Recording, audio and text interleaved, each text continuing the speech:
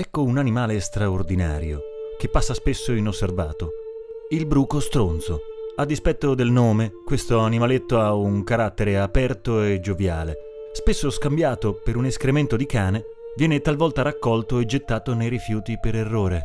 Il bruco stronzo ha un senso dell'orientamento acutissimo, ma, essendo miope, sottovaluta i dislivelli.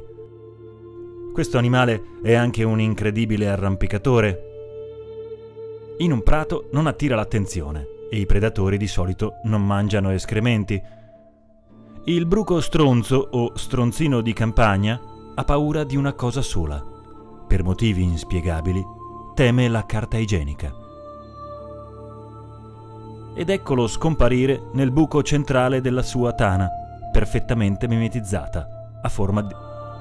di, di culo, sì.